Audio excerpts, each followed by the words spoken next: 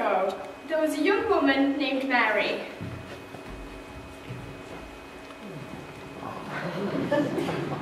She was engaged to be married to a man named Joseph. Mary loved God very much. One day, God sent an angel to speak to Mary.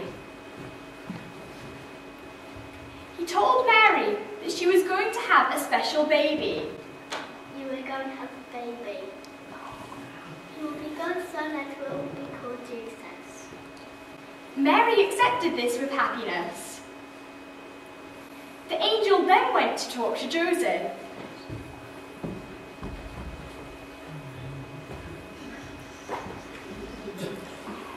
The angel explained to Joseph that Mary was going to have the Son of God and that it was okay for Joseph to take Mary as his wife and to take care of her and the baby who was to be named Jesus. Shortly afterwards, Mary and Joseph travelled to a town called Bethlehem.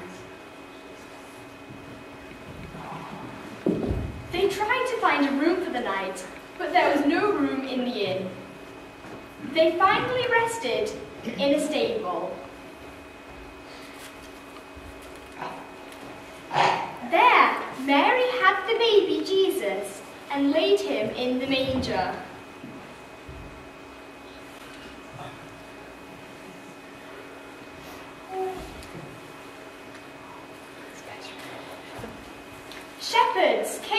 Came and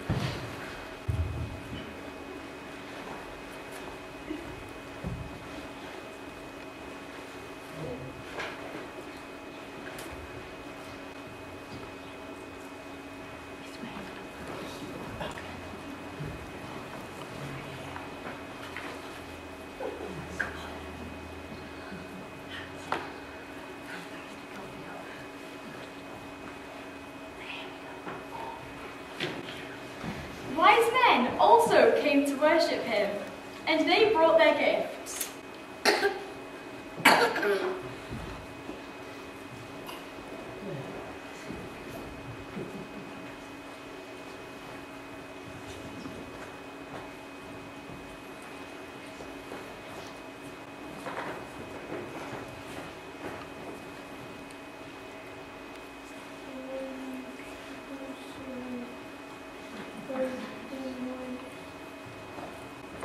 That night, the angels sang a song of joy about Jesus' birth.